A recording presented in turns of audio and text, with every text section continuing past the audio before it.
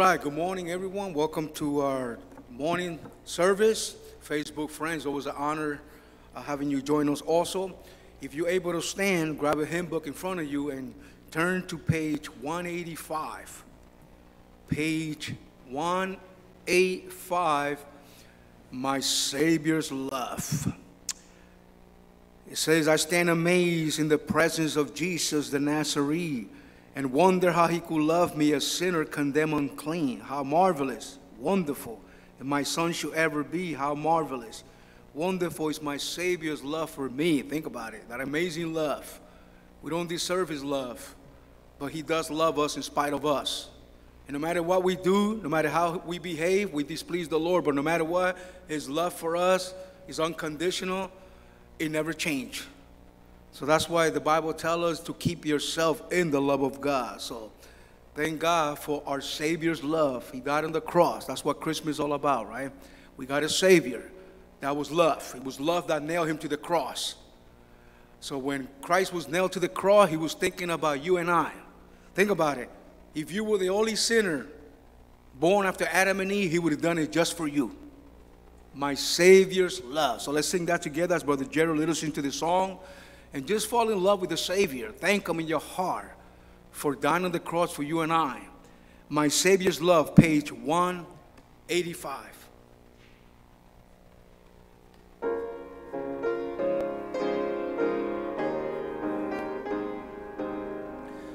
I stand amazed in the presence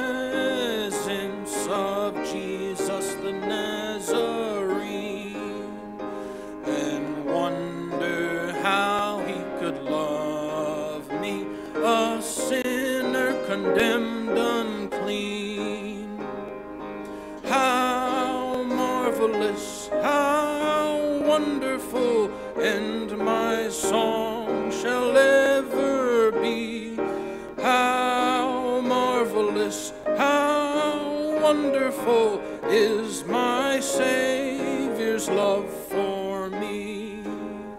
For me it was in the garden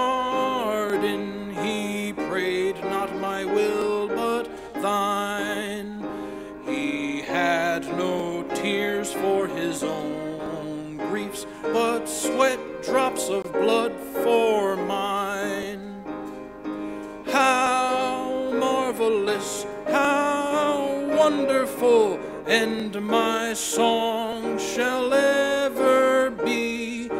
How marvelous, how wonderful is my Savior's love for me. He took my sins and my sorrows, He made them His very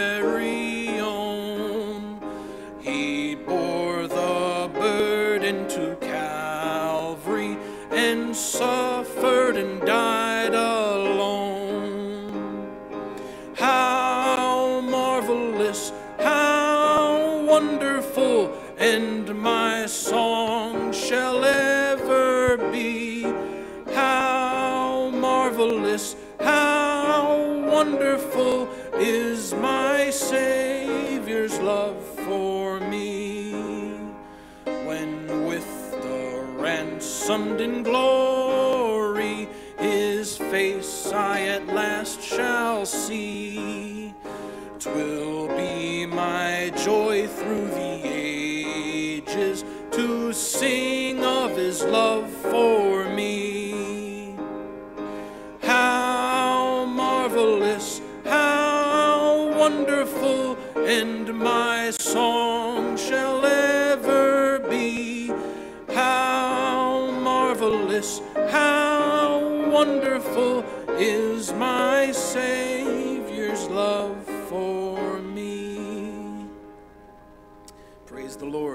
be seated for our second hymn this morning,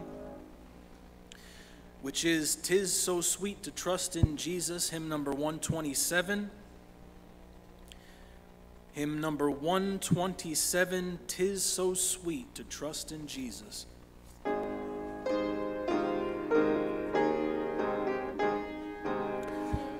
Tis so sweet to trust in Jesus, just to take him at his word, just to rest upon his promise, just to know thus saith the Lord. Jesus, Jesus, how I trust him, how I've proved him o'er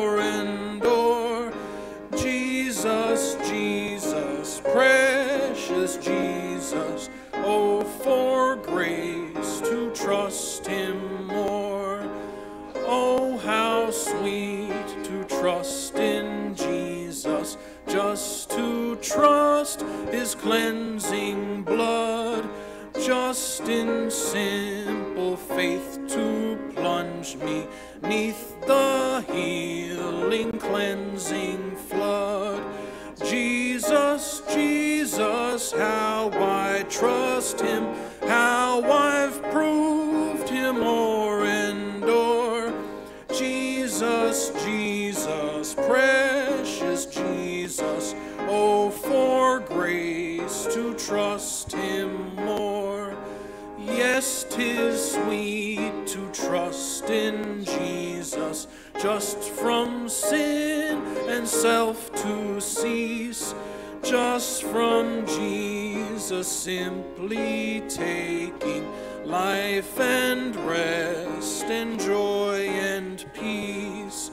Jesus, Jesus, how I trust him, how I've proved him o'er and o'er. Jesus, Jesus, precious Jesus, oh, for grace to trust him more. I'm so glad I learned to trust thee, precious Jesus, Savior, friend. And I know that thou art with me, wilt be with me to the end. Jesus, Jesus, how I trust him, how I've proved him o'er and o'er. Jesus, Jesus, precious Jesus, oh, for grace to trust him more. Amen. Amen. It's a blessing to trust in Jesus. So sweet to trust in Him. I was thinking of that song, and I was thinking when I'm out there in my secular job and trying to look for opportunities to give a gospel track or share Christ with people, unsaved people, and I usually say this this line. I say, "How's the Lord treating you?" By the way, I'm talking to an unsaved person. I'm not even talking to a saved person. I say, "How's the Lord treating you?" And even the old saved person said, "God's been good to me."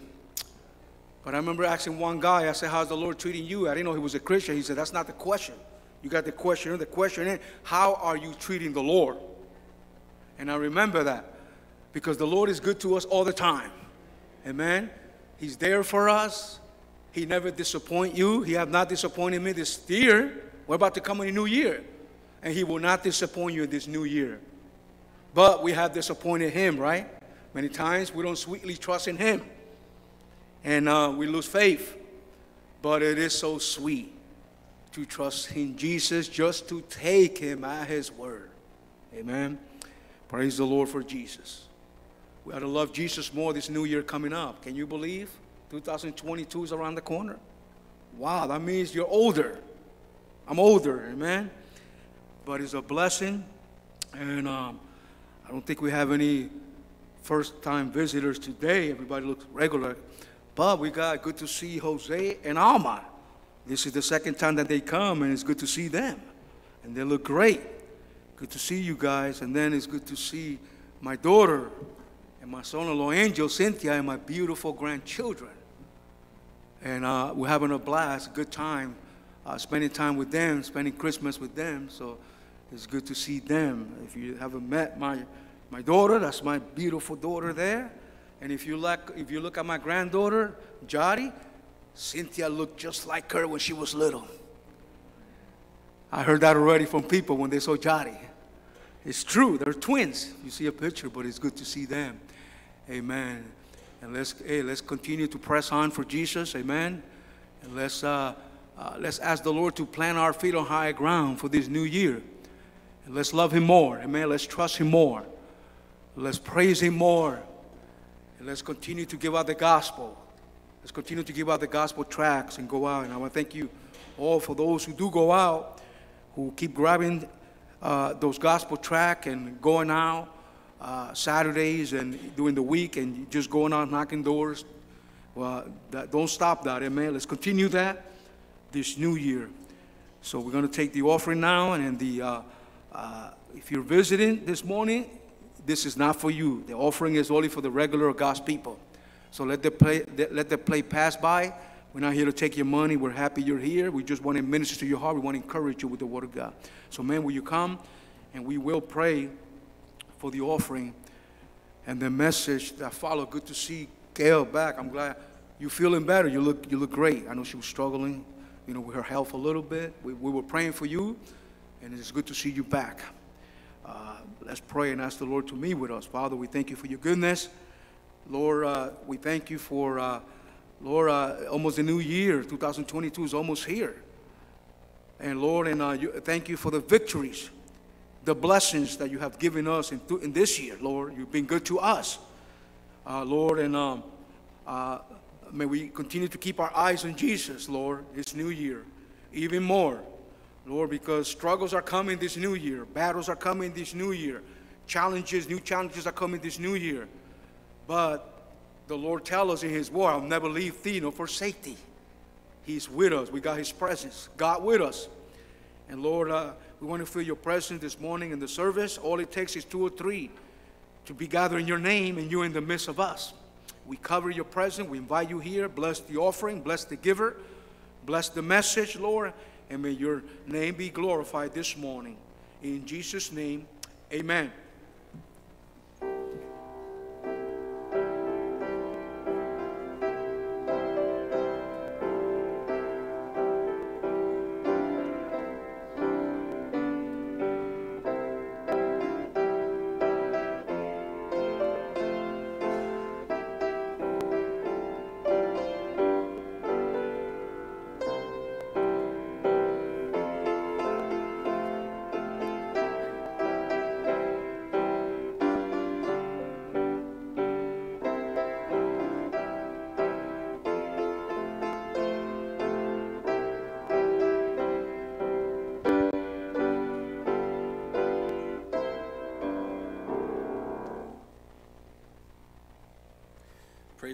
Please stand if you're able for our third hymn this morning, which is number 101 Jesus Never Fails. Hymn number 101 Jesus Never Fails.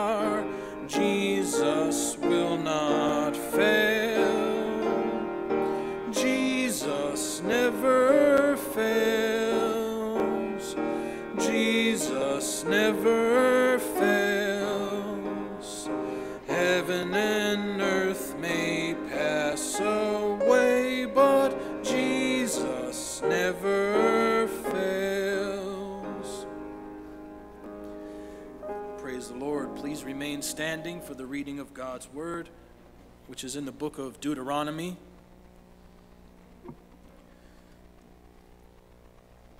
In the book of Deuteronomy, in chapter 11, starting at verse 10, reading to verse 12. Deuteronomy chapter 11, verses 10 through 12. So in Deuteronomy chapter 11, starting in verse 10, the scripture reads For the land whither thou goest in to possess it is not as the land of Egypt from whence ye came out, where thou sowedest thy seed and waterest it with thy and waterest it with thy foot as a garden of herbs. But the land whither, whither ye go to possess it is a land of hills and valleys, and drinketh water of the rain of heaven, a land which the Lord thy God careth for. The eyes of the Lord thy God are always upon it, from the beginning of the year even unto the end of the year. Amen. Please be seated.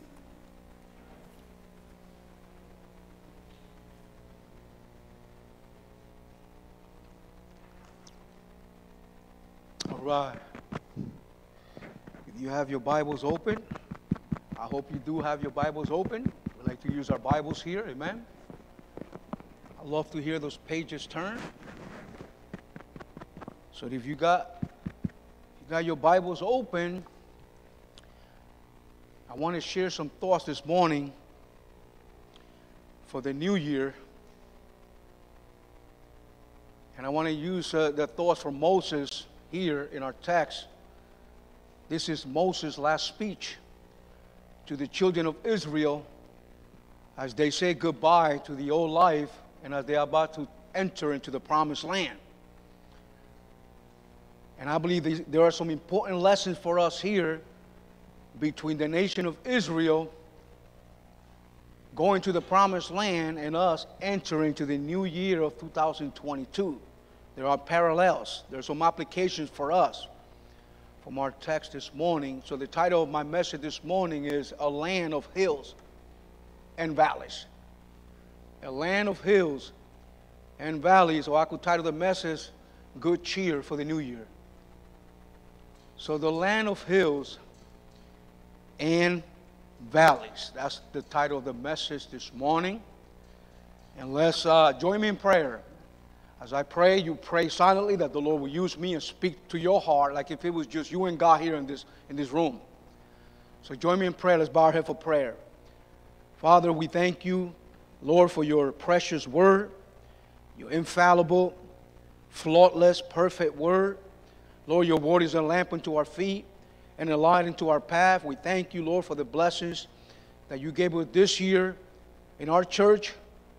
We pray that this new year we as a church will bear much fruit and much fruit that, that remain for the Lord Jesus Christ. Lord, give us a greater appetite for your word this new year, Lord. Lord, give us uh, greater effectiveness in our service for you this new year. Give us a, a, a, a word of encouragement, Lord, from your word this morning as we are facing in just in a few days, as we are saying goodbye to the old year and we're going to enter a new year. Lord, may we trust in you more, just like we heard the hymn. So sweet to trust in Jesus. May we trust you more sweetly this new year, Lord, may you increase our faith, our trust in the Lord, our uh, following God's promises and standing on God's promises more. Lord, just bless the message uh, because there's power in the Word of God, Lord. In spite of me, I'm, I'm, I'm only a sinner saved by grace, trying to challenge other sinners to live for God, to increase their commitment for God, Lord. And I pray that you help me to put the emphasis where it's needed. Lord, help us to not miss the message, remove distractions. I know Satan likes to hinder, the enemy likes to hinder. And may each one of us do not miss the message that you have for us this morning. Help me to deliver in power and demonstration in power and spirit. Make it clear. Lord, we need to hear from you, not from man. In Jesus' name, Amen. Look with me as we read Deuteronomy chapter 11, in verse 10 to 12. It says, For the Lord, for the land, whether thou goest to possess it, is not as the land of Egypt, for whence you came out, where thou sowest thy seed and waterest with thy foot, as a garden of herbs. Verse 11, but the land, whether you go to possess it, is a land of hills and valleys. And, and, and that's, uh, that's how I got the title the land of hills and valleys. It says, In the land of hills and valleys, and drink it water of the rain of heaven. Verse 12, a land which the Lord thy God care for. The eyes of the Lord thy God are always upon it, from the beginning of the year even unto the end of the year. And that's what I want to focus in verses uh, 11 through 12. Moses here is reciting for the children of Israel the law of God. Deuteronomy is the second law given to the nation of Israel. Moses is an old man. He's an old man here. He's going to turn things over to Joshua. And Joshua is going to lead them to the promised land, the land flowing with milk and honey. The generation that have sinned against God have died off, and a new generation have come upon the scene. And they're about to enter into the promised land.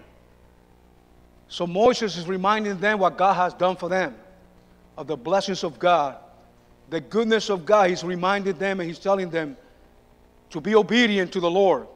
Continue to be obedient to God and to keep his commandments, to love the Lord your God with all your heart, with all your soul, and with all your strength. And he tells them that in verse 13, and it shall come to pass if you shall hearken diligently unto my commandments, which I command you this day to love the Lord your God and to serve him with all your heart and with all your soul. Because if you do that, God's going to bless you. God will bless them. God will guide them. God will provide for them as they are entering into the new land. By the way, that God is our God too. He, he did that for them, He would do that for us. Amen. He would do that, but um,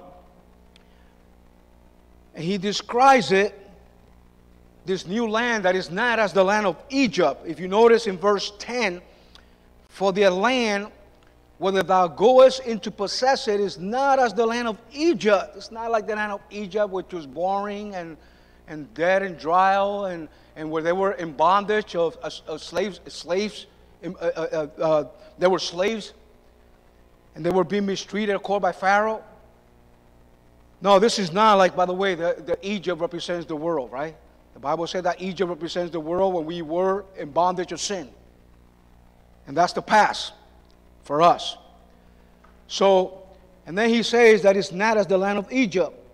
In verse 11, but the land which you go to possess it, it is the land of hills and valleys, and drink a water of the rain of heaven, a land which the Lord thy God cared for.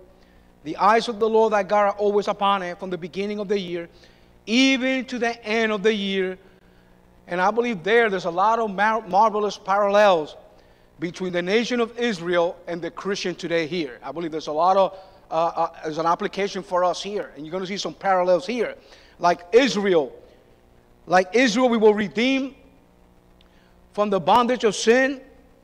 Egypt uh, um, is, a, is a typical of the old life. As Israel had to be redeemed by the blood of the Lamb, so you and I had to be redeemed out of the bondage of our sinful past by the blood of Jesus Christ.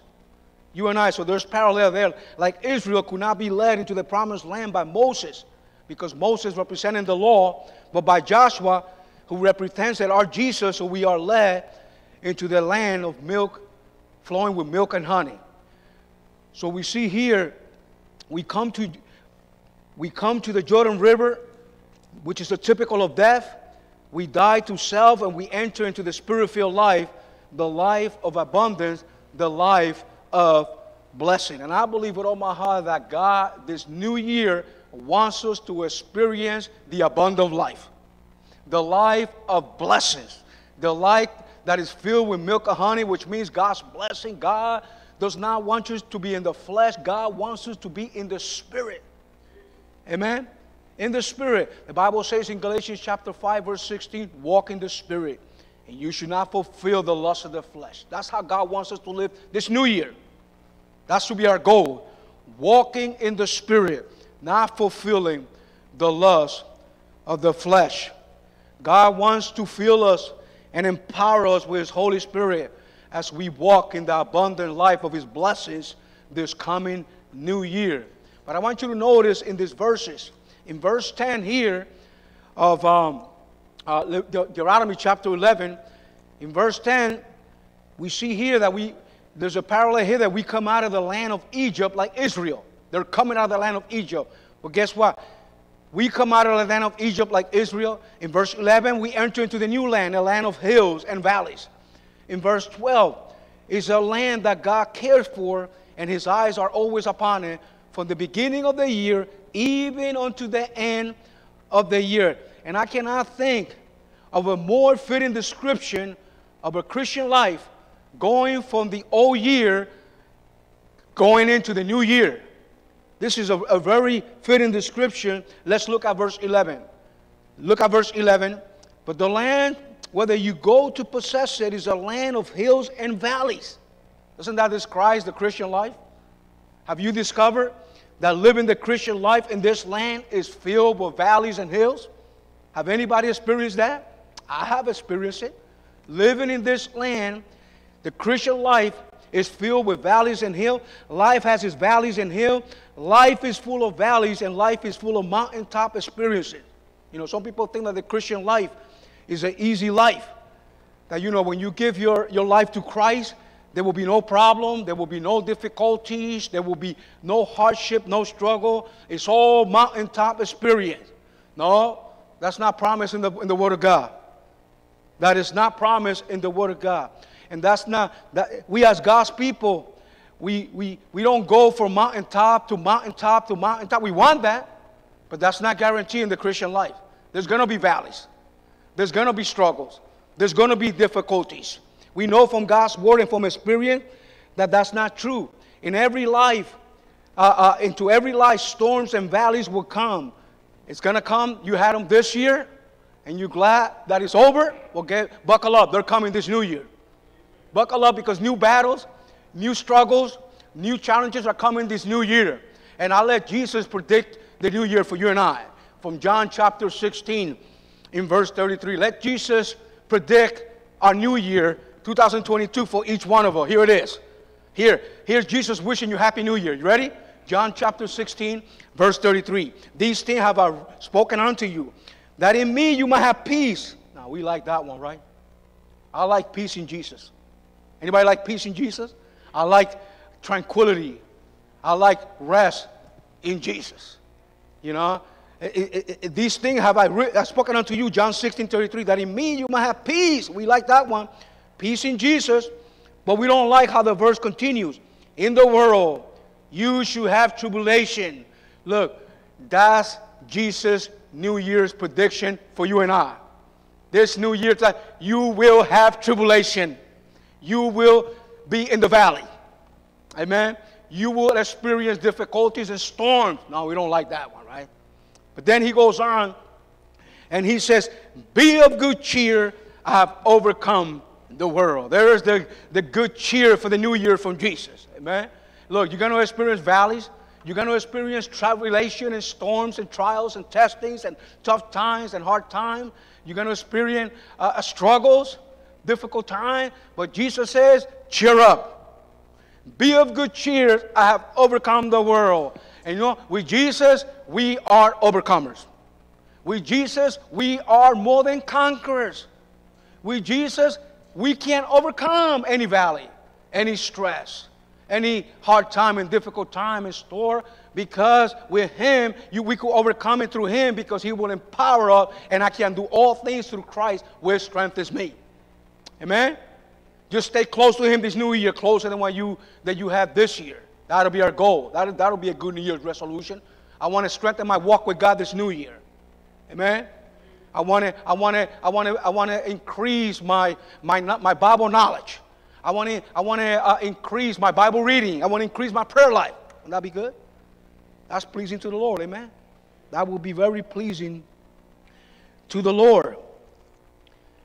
Look, this new year we will face valleys. Mark it down. We're going to face valleys this new year. Have you ever noticed that most of the great people in the Bible, the great Christians that we look up to, most of them, you see them a lot in the Hebrews chapter 11, the heroes of our faith. You ever noticed that most of them uh, in the Bible went through valleys in their life? They went through valleys. You want God to use you, He's going to put you in the valley. You want God to stretch your faith and, and, and empower you and multiply your effectiveness, He's going to have to put you in the valley. He's going to have to bring you low before He could bring you up. Amen? That's what I see in the scriptures. I see a pattern in the scriptures of all the great women of God, the great men of God. They all went, they all went through valleys in their life. I think of David. The minute God poured his spirit upon David, remember Samuel the prophet poured the oil on David, and the spirit came upon that David from that day forward. It was, it was once God laid his hand on him, Samuel, and God's power and God's spirit came upon him from forward. That's when the valleys and the battles for David began. That's when Saul began to be jealous of him. Remember Saul? Jealous Saul began to be jealous of him. He began to attack him, to try to harm him, to try to kill him. David began to hide in caves from jealous Saul. He was David had to flee for his life. Saul kept chasing David like a wild animal, and at time David got very discouraged. You ever got very discouraged? Have you been very discouraged this year? Well, guess what? There's going to be no new discouragement this new year. Mark it down. Make room for that, amen? Because David, look, David, as soon as the Spirit of God came upon him, I mean, that's a mountain time experience. Why? When, when Samuel poured the oil on him, mountain, mountain spirit. But as soon as that Spirit of God came upon him, from that day forward, he began to face battles and he went be, to be in the valley and suffering because Saul was attacking him. He had to hide himself from Saul, jealous Saul, because jealous Saul wanted to kill him and take his life. And David, during those moments when he was in the valley, he became very discouraged. In Psalm 42, listen to his discouragement. He was very discouraged in Psalm 42. In verse 5, look what David says. Psalm 42, verse 5. Why art thou cast down? He's preaching a sermon to himself while he's discouraged.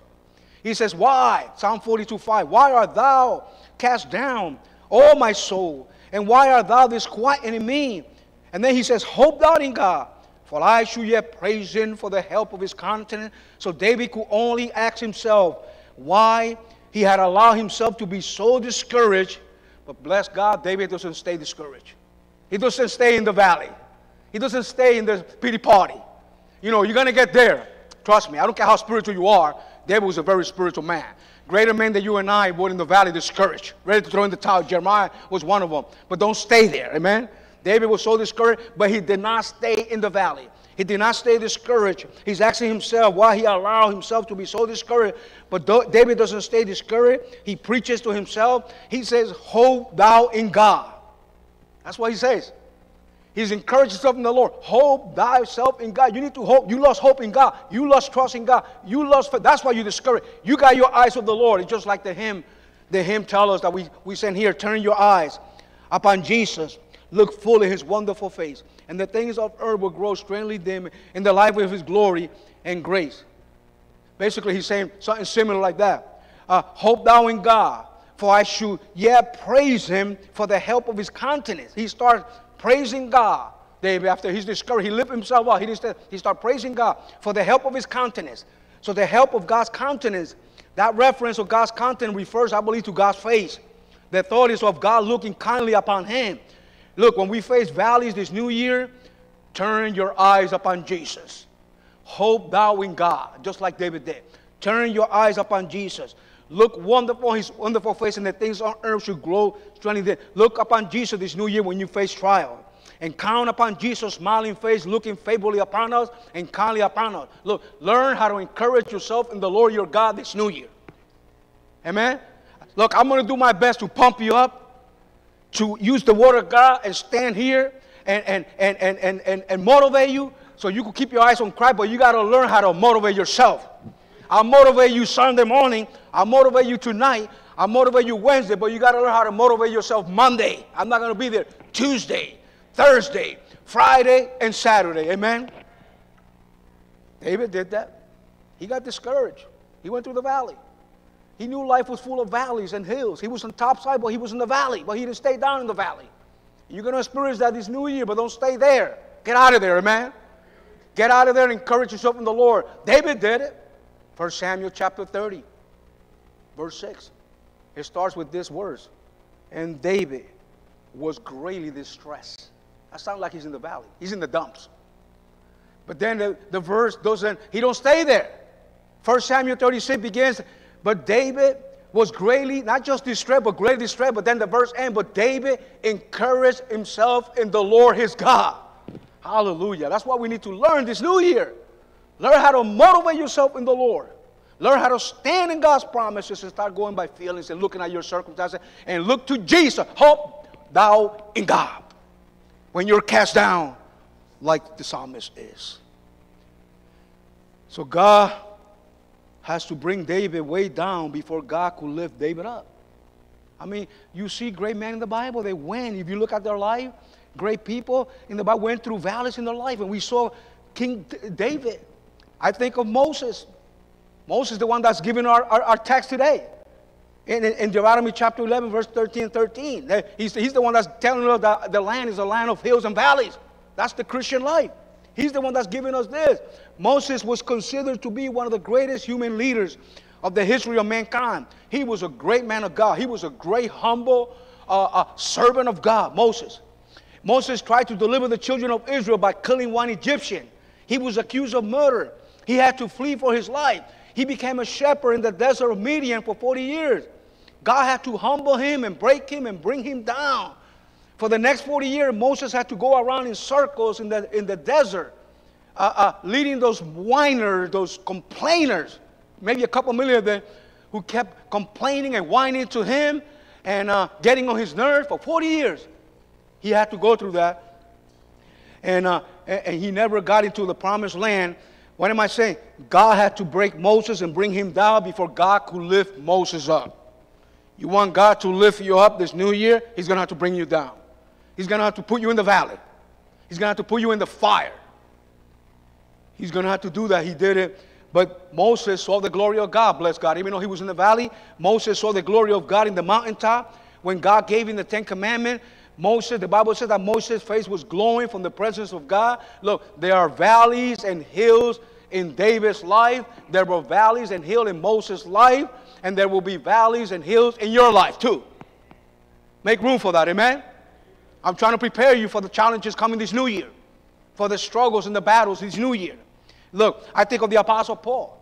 He, he's one of my mentors. He's my, my, apart from Jesus, my number one mentor. He was incredible man of God. He showed me a lot about the Christian life.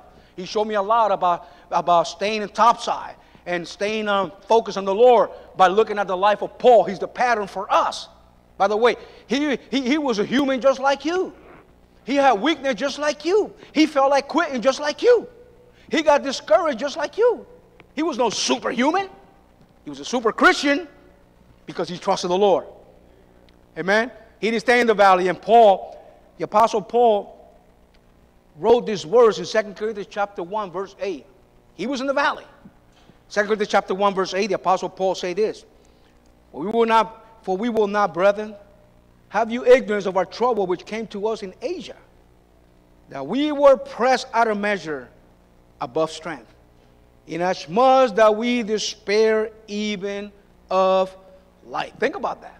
Second chapter 1, verse 8, think about that. Paul said we were pressed out of measure above strength. This was a big trial. Paul said, God, you're giving me something I cannot handle. This is too heavy for us. We're done. This is the end of the road. We're at the end of the road. There's no way of escape out of this one. Inasmuch that we despair even of life. Here's the Apostle Paul. We see the Apostle Paul down in the dumps. He's down in the dump in the valley. But there was all the time when Paul was in the hill, in the mountaintop. He was in the hill. We see Paul caught up in the third heaven. He was caught up in the third heaven, so we see him in the valley, but at the same time, we see him where he was caught up. God gave him revelation. He was caught up in the third heaven. I believe he died. He literally died and, got, and went to heaven. God brought him back. Can you imagine being in heaven and then coming back? And um, Paul, so look, what am I saying? I'm saying that this Christian life, Deuteronomy chapter 11, verse 11 describes a land of hills and valleys. That is describing our general Christian life. Our life consists of hills and valleys. That's going to be our Christian life. That describes our Christian life. Every one of us this coming year will face valleys and hills. We will face difficulties and hardships and storms. Why does God allow valleys and hills in our life? Well, let me give you a few simple reasons why God allows valleys and hills in our life. He allowed them this year and he's going to allow them the new year. But let me tell, let me give you a reason why got to allow some simple reason. Number one, let me give them to you. We need to remember that God is the one who permits, and God is in control of them, and God has a purpose in them. God permits them, God controls them, and God has a purpose in each one of them.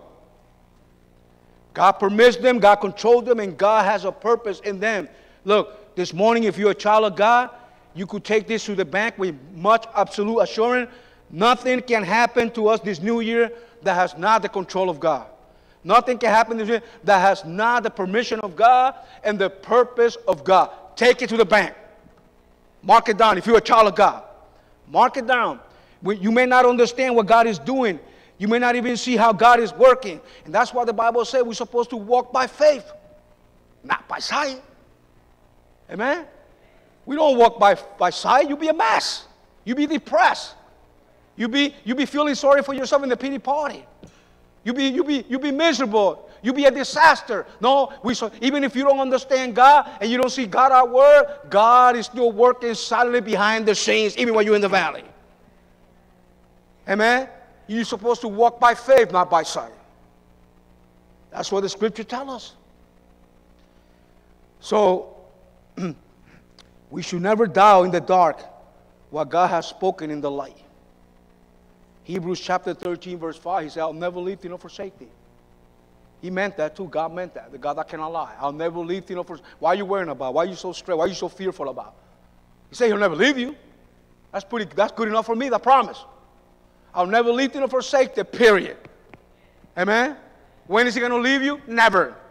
When is he going to forsake you? Never if you're safe.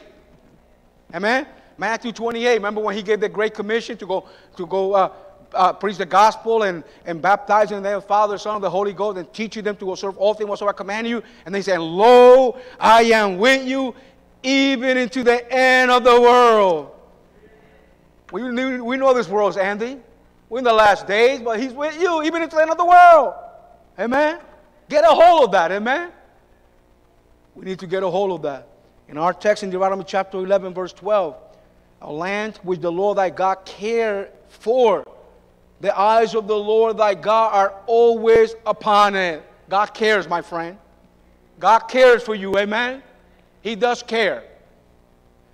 Uh, he says there, he cared for the nation of Israel. I'm going to take you out of Egypt, but I'm going to put you in a new land, and I got my eyes are upon it always. And I'm going to care for you. I'm going to provide for you. I'm going to take care of you. He will do that for us too.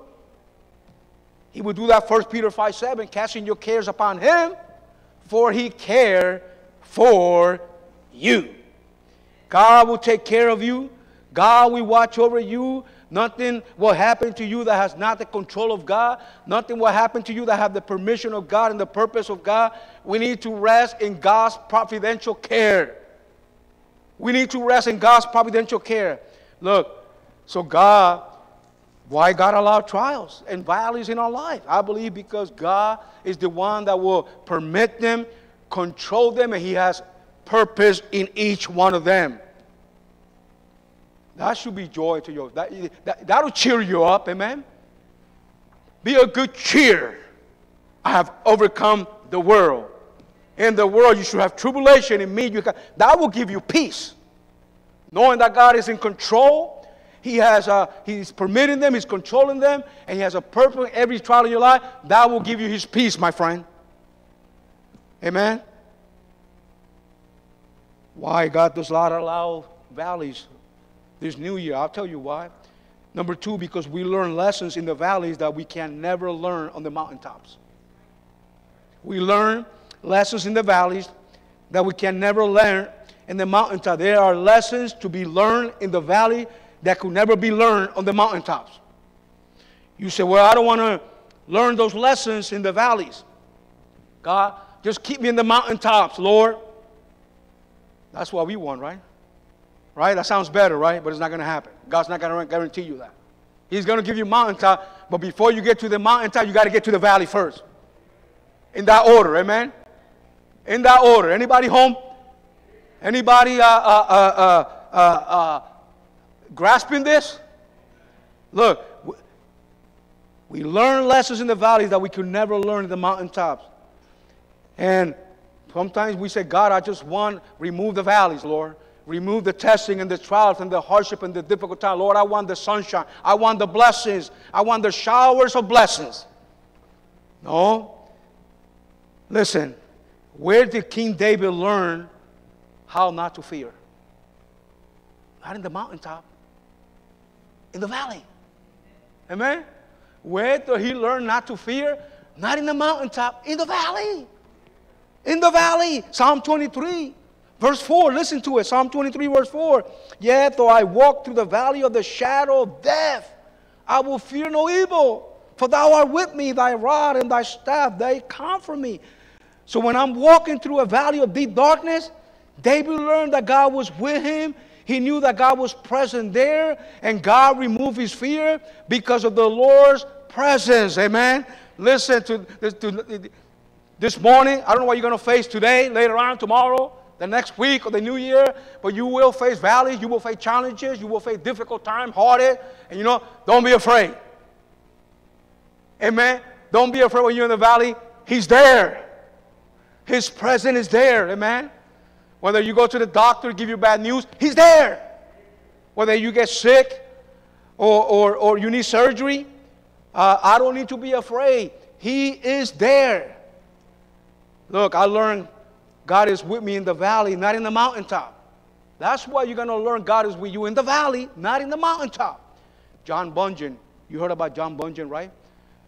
John Bunyan says, in time of affliction, we meet with the sweetest experiences of the love of God. And John Bunyan said that when he was in the valley. He was in the valley.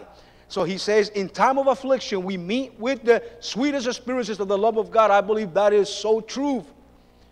There's a depth of fellowship we have with Christ when we are in the valleys that we don't have in the mountaintop. You know that? I learned that from a spirit, and I see a lot of Christians in the Bible, like the Apostle Paul, who learned that. Paul said in Philippians chapter 3, verse 10, that I may know him and the power of his resurrection. But don't stop there. And then he goes on and says, Brother Jerry, and the fellowship of his suffering. When you're in the valley, that's when God reveals himself to you, amen, when you look to the Lord. That's where God is going to reveal himself to you more, not in the mountains, in the valley. That's what Paul experienced the suffering of Christ. He suffered like Christ suffered, and, and it drew him so close to the Lord. He felt God's presence and God's touch and God's power upon his life. Jeremiah is another example. He was called the weeping prophet. You know, Jeremiah did a lot of weeping. He was called the weeping prophet. And you know, it was in the valley that Jeremiah learned Lamentation 3:22 and 23. He was in the valley, the weeping prophet. He was in the dumps. And Jeremiah learned about God's mercies. They're new every morning. His compassion fell not. Great is thy faithfulness. Lamentation 3 22, 23. It is of the Lord's mercy that we're not consumed because his compassion fail not. They're new every morning. Great is thy faithfulness. You know he learned that? In the valley. In the valley. He learned while he was in the valley. Jeremiah 33 3. Call unto me, and I will answer thee and show thee great mighty things which thou knowest not. You know where he learned that? Not in the mountaintop, in the valley. In the valley, he heard God answers prayer. Notice again in Deuteronomy chapter 11, in verse 12. Deuteronomy chapter 11, verse 12, a land which the Lord thy God cared for, The eyes of the Lord thy God are always upon it. Watch this from the beginning of the year, even into the end of the year. Wow. Just like God cared for them and God provided for them and God was with them and God guided them from the beginning of the year to the end of the year, guess what? Same God we serve. He will do it for you and I. Don't lose faith. Don't lose hope. Amen. Hope thou in God when you get cast down, when you get discouraged. But I learned three things there from that passage of Deuteronomy chapter 11, verse 12. I learned three things there. I read it to you again. A land which the Lord thy God cared for. The eyes of the Lord thy God upon, always upon it. From the beginning of the year, even into the end of the year. I will say there are three things we learn in the valley, while we're in the valley from this passage. We learn first God's provision. God's provision we learn there.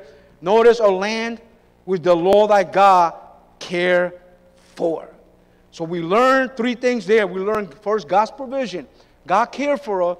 God is in control. God will provide for us. I love Philippians 4:19. But my God should supply all your needs, not some of them, according to his riches in glory by Christ Jesus. You know that's the bank that never fails right there. Philippians 4:19.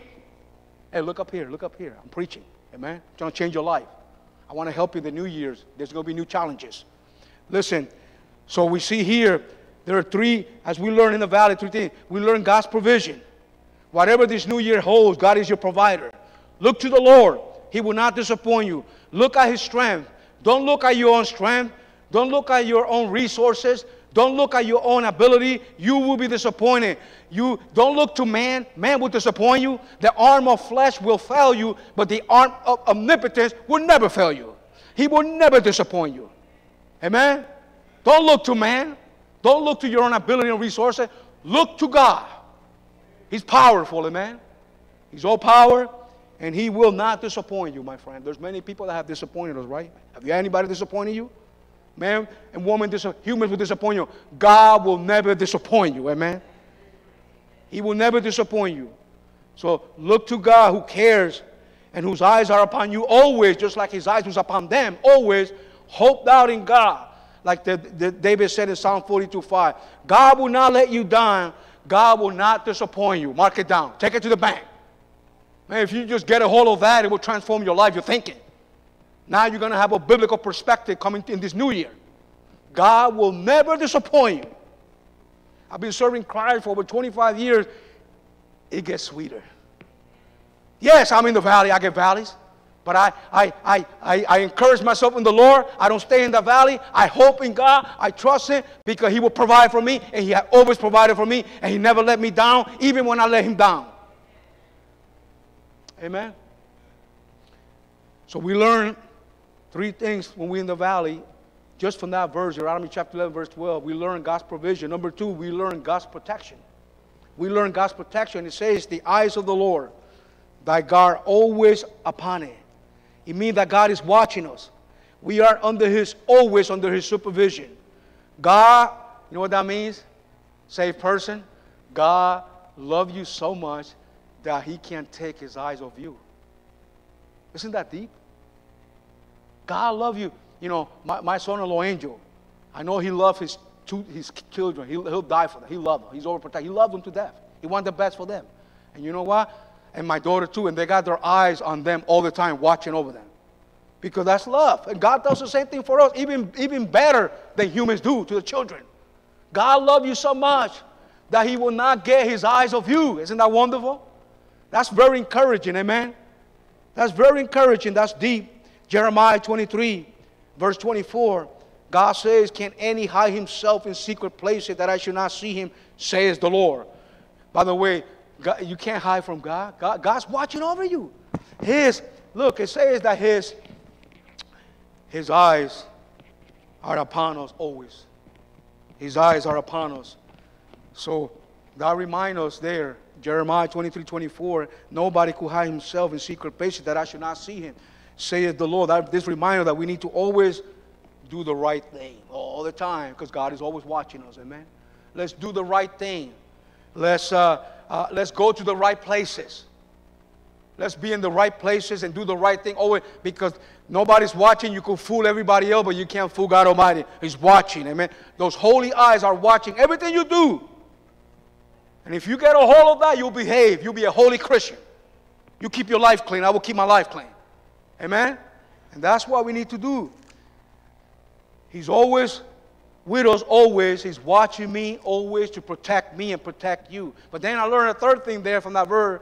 Not only we learn God's provision, not only we learn God's protection, but we also learn in the valley God's presence. We learn God's presence. Look what it says there. Because I have his presence at the beginning of the year and at the end of the year. Deuteronomy chapter 11, verse 12 The eyes of the Lord thy God are always upon it, from the beginning of the year even into the end of the year. That's very encouraging. I know I'm going to face valleys this new year. But That's going to be very encouraging that God's presence is with me always. Always. The Bible tells us in Romans chapter 8, you know what I look about Romans chapter 8? I told Romans chapter 8 verse by verse, and I enjoyed it. But Romans chapter 8, you know what it began? No, it, it began with no condemnation. Romans chapter 8, verse 1, therefore, therefore, no condemnation to them which are in Christ Jesus. That means you will never be damned to hell if you're saved. You're secure in the hands of Christ. I'll never leave thee nor forsake thee. Nobody could pluck you out of my hand. You're locked out of hell forever. Think you got it bad? No, you don't got it that bad. You, if you would have went to hell when you die, if you died in your sin, that's real bad. And if he saved you by his grace, you don't have it that bad. So whatever you're going through is nothing compared to the agony in hell. Amen? So you're a blessed woman and you're a blessed man if you're saved this morning. If you're not saved, you got big problems. You're walking on thin ice. But Romans chapter 8 starts with therefore no condemnation. And then right in the middle is the, the great verse, Romans 8 28, all things work together for good to them that love God. Many times we claim that verse, right? But then it ends that nothing could separate us from the love of God. He's there. We got his presence. Nothing could separate us from the love of God. Nothing. From the beginning to the end of the year, I have his provision, his protection, his presence. God loves us so much to keep us in the mountaintop. So he allows the valleys in our lives so he can teach us lessons we can learn in the valley so we could that we cannot learn in the mountaintops. That's why God allows it because you cannot learn the lesson that God wants to give you in the mountaintops. You're going to learn them in the valleys. God permits the valleys in our life so we can grow in Christian character and Christ likeness. This is another reason why God allowed valleys in our life. God permits the valleys in our lives so we can grow in Christian character and Christ likeness. And that's why your values, listen to this, that's why your values are so important. If you value comfort over character, then your valleys, then when you are in, your, in the valley and trials, you know what they're going to do? They're going to upset you. They're going to upset you, but if you value character over comfort, then your valleys and trials won't upset you because you will embrace them and use them to grow your Christian character and to grow your Christ likeness. See, a lot of us like to value comfort over character. Well, God values character over comfort. And God is going to allow those trials, those valleys, to form you and to build uh, uh, uh, your Christian character and Christian maturity and Christ likeness on you. That's the whole goal of the Christian life is to be like Jesus. Amen? He's the one that we need to imitate, Christ. And if everybody has that goal this new year, I want to be like Christ, we live in a better world. We, we have better harmony, we'll get along better. Amen? That's what we need to do. Somebody said the same sun that melts the wax hard in the clay. Some same trial, same valley. Somebody will go through the same trial in the same valley. Somebody will go, eh, and, and they go to the same trial, the same valley, but it will make that person hard and bitter. And then the other person go through the same trial, but it will become soft, humble, and strong spiritually. It all depends how we respond to the valleys of our life. Let me ask you this the value of God is the value of God that God is allowing in your life is making you hard? Does it make you bitter? Does it make you better? Is it making you hard? Is it making you soft?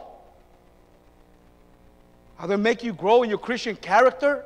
Are they making you grow in your Christian like in your Christ likeness? And I believe that we need to allow God to mold us and shape us after His image. That's what we need to allow God. In the valley, we learn a lot of things, a lot of lessons in the valley. But let me just give you some things that we learn in the valley. We learn patience in the valley. You know that? Anybody need patience? Who needs patience? I'm going to show you God this Christian how to get patient. In the valley, not in the mountaintop. In the valley is where you learn patience. Romans chapter 5, verse 3. This is where you're going to learn patience in the valley. Here we go. Romans chapter 5, verse 3. Listen to it. And not only so, but we glory in tribulations. Also, knowing that tribulation work it patient. I'll read it again. Knowing that tribulation work it. I think I only got one person. No, nobody else like to, wants to quote it, huh? Nobody else like to, you rather quote Philippians 4.19, right? My God shall supply all your needs according to his in glory. But you'll quote that one quick. But you don't want to quote this one, right? That's exactly how you get patient. God is going to have to increase tribulation in your life. I didn't say it, God said it. It's like the old, there was a younger pastor. He wanted it, he was lacking patience, he was struggling with patience, and he went to the older senior pastor who had more experience in the Christian life. And he said, Pray for me, I need patience. And the senior pastor, who has more experience than him, lay his hand on his, and Lord, bless this young pastor. Lord, send trials and storm and tribulation and pressure and hard times. Stop, stop. I didn't ask for that. You misunderstood me. I said patience. I said, well, that's what the Bible says. He quoted Romans 5 3, tribulation, work of patience. Amen. That's how you're going to get patient. That's how God developed patience in your life. Amen. By the way, this is not, there's no shortcuts to it. Tribulation, work of patience, there's no shortcuts. You get patient, you don't get patient by reading a book. Well, I'm going to go. To, I'm going to go to the library, or I'm going to buy a book on Amazon that how to how to get patient, and you get a secular book that says 12 lessons how to get patient. No, that's not. How, or or going to some kind of weekend conference. No, the word patient has the idea of, of endurance there. The word patient there is not talking about when you're sitting in a traffic light, patiently waiting, and you're smiling in the traffic light, and there's a delay red light, or maybe in um, in uh, Goodwin Street and, and Smith Street, that stop sign, I can't stand the stop sign. They had to put a red light in there. You know what I'm talking about? By the Jehovah Witness Hall, Goodwin Street, Perth Amboy here, and, and, and, and Smith Street. They need to put a, a, a light there. You get very impatient there. There's many times that I turn around. But look, that's not talking about that kind of patience. Where you just sitting there on Goodwin Street and stop sign and and, and there's, there's people that just take their sweet time and, and you got to get there a certain time and you're smiling patiently. That's not talking about that. That word patient means endurance. It is not talking about patient, like waiting patiently in a traffic light or a stop sign. It has the idea in the face of opposition. We press on, we keep moving forward, we endure. And the only way we can develop endurance is in the valley, is in opposition. That's how God builds endurance in your life. Amen. You want endurance? Well, God's going to have to increase valleys in your life. Opposition. That's how you, that's how you grow. That's how you mature, amen? That's how you become like Christ. You grow in your Christian character and your Christ likeness. But we want to pray, Lord, make my life easy. Take away all the valleys and opposition. Take away the thorns. Lord, give me mountaintops only. No, in the valley, we learn patience, my friend. That's God's prescription. We learn patience in the valley. Also, not only in the valley, not only in the, lab, in the, in the, in the, in the valley we learn patience, but also in the valley we learn humility too. We learn humility. 2 Corinthians chapter 12, verse 7. Listen to this. 2 Corinthians chapter 12, verse 7. The Apostle Paul said, Unless I should be exalted above measure through the abundance of the revelation, there was given unto me a thorn in the flesh, the messenger of Satan, to buffet me, lest I should be exalted above measure. And Paul had a revelation. I believe he was caught up to the third heaven. He was caught up to the third heaven, the Bible says. I mean, he, he, was, in, he, he, he was in heaven. He saw the beauty of heaven, and you know what? God had to send that thorn in the flesh because that could have got him proud. I wonder how many people, Brother Jerry, would have that experience that Paul was up to. I wonder how many books they write. How many books would they write today? Probably would be the, uh, the number one bestseller on Amazon. But he didn't do it. He didn't talk about it for many years. He's too quiet. And you know what? God had to send that thorn in the flesh. Who sent them? Who gave them that thorn in the flesh? According to 2 Corinthians chapter 12, verse 7. Who gave it to him? I believe God gave it to him. Well, you say, well, it was the messenger of Satan. Well, God controls the devil too. God could allow the devil's attacks on your life. He said, take your life to keep you humble so you could depend upon God. God will do that. Amen? God did that to keep him humble. And God would allow, God, look, God allowed Satan to afflict Job to humble him and to keep, keep him usable for God. Who afflicted Job with those boils in his body? Satan. And God gave him permission, right? But God was controlling the devil. So God will afflict you also. He will allow the enemy to attack you and afflict you. Why? God wants to keep you humble. So if you're struggling with a physical problem, praise God for it. He's trying to keep you humble. We didn't like that one either, huh? But God used humble people. They're usable for God, amen? God can't use proud people. He's going to have to bring you down, amen? He's going to have to afflict you, put you in the valley. Because I believe God loves us so much that He allows suffering in our life to keep us humble. He knows that we need that to walk humbly before our God. So He allows valleys in our life. By the way, that's more important than living in the mountaintop all the time. You know what happens if God would allow you to live in the mountaintop with no valleys and no trials? You're going to get proud. You're going to, you're going to distance yourself from God, my friend. Because I, I read in the scripture that God make people prosper and they turn their back on God. Amen. That's why God afflict you. God got a lot of trials in the valley so you could depend on Him to keep you humble. Amen. I think of King Uzziah in Second Chronicles somewhere. He was a king. He began to reign. I think he was like 16 years old. And God blessed him. And, and he was seeking the Lord as his fathers did. And God prospered him. And God helped him. And God made him strong. And you know what happened? He got proud. He got puffed up. He turned his back on God, and God had to afflict him with leprosy. He died as a leper. Be careful when God prosper you.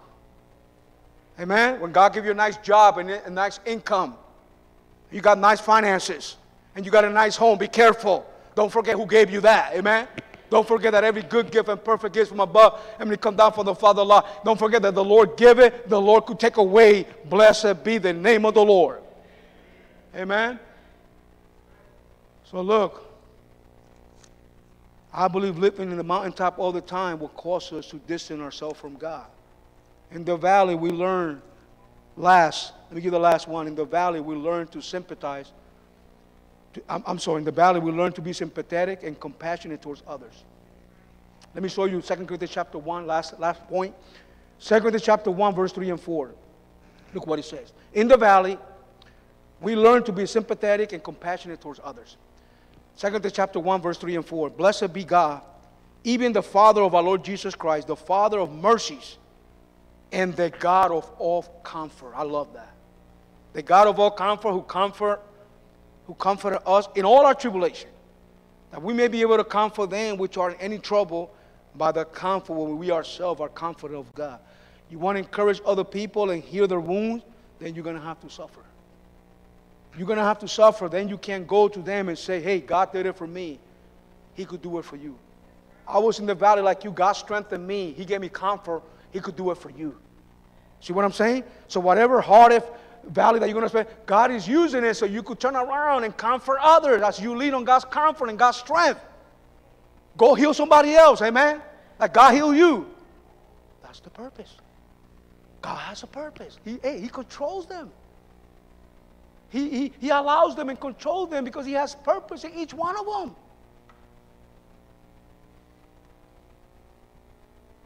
Look, God is using our tribulation, our valleys to be a blessing to others. So here's my New Year's message to you this morning. There's going to be a lot of valleys this new year. A lot of valleys. Happy New Year.